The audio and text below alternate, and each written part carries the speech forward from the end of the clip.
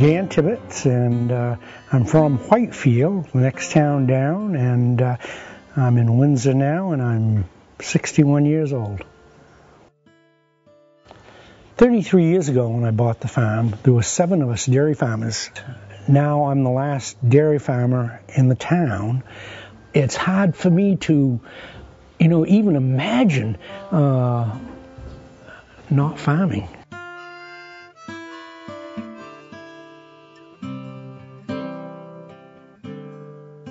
The only real crisis uh, I've, I've experienced in life was a divorce, and that was in 93. And with that divorce came a lot of suffering, but awakening. Uh, it was at that point that I realized my real love for the farm uh, and farmed it alone for seven years, finding what really was, I believe, meant for me to experience. Uh, and that was experiencing a farm family again, and uh, and even probably more the experience of passing the farm on, uh, seeing the farm continue, uh, and leaving it uh, in someone else's hands the best way I can. All right, well, in order to do that, you've got to have a wife that can bear children. And all these women that I was dating, they'd been there and done that. They didn't want more children, they were too old. So, okay, I, I got to have a younger wife, you know. And uh, I was, uh, my daughter was in Guatemala, and uh, I had a farmer friend out in New York that belonged to Latin Connections and he was going down there for a, a week vacation where they invite women in and socialize and and they advertised you know relationships. My name is Sandra. I'm 33 right now and I'm from Colombia.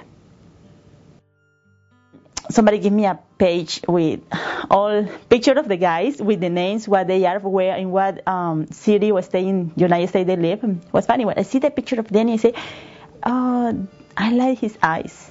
And I try to talk to Danny. He has 15, 10 girls around him. And I said, mm, he's not going to talk to me. And I come back to my city and my normal life working. I have my son Camilo already. And I start sending him letters. He never answer. Send letters, he no answer. And finally I say to my sister Astrid, she has more knowledge in English than me. I say, Astrid, maybe I know right, right. I want keep friend relationship with this guy. And she's helped me. Uh, he said, he said, but you are too young. I say, no matter, I want to be your friend. And he goes to Colombia to just to visit me once, and that was really nice. We still been just friends for three years, and after three years, I, he ever invited me, come on, come, come to the United States, come on, look at my life. I said, um, we see, we see. I was busy. I'm not thinking nothing serious. And one day I say, okay, we are going to United States. I'm going to see how is your life there, if I like or not. Came together one afternoon when I was milking the cows and I was on my last cows on the end down there underneath that last fluorescent light that I think I said, uh, I think it's time for us to experience our first kiss.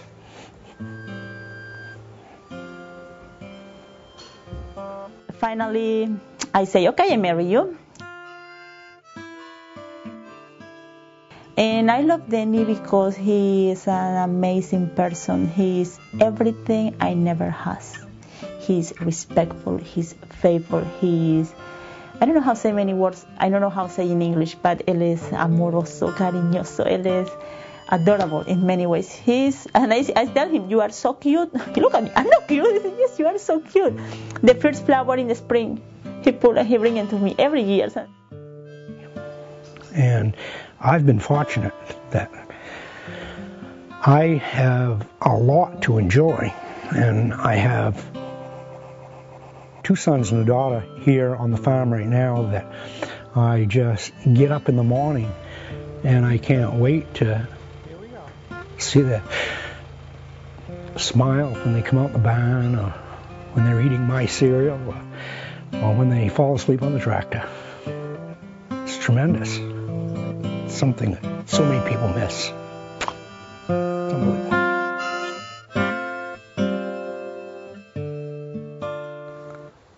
I have experienced my older kids and now my younger kids growing up uh, in a way that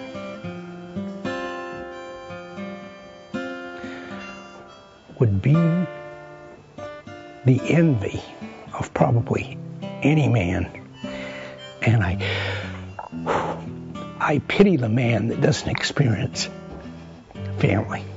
I mean,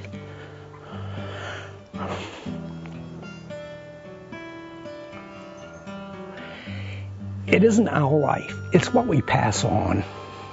And if I can pass on the love for family and for a family lifestyle that I have chosen, it will be greater than anything else I, can accomplish in life.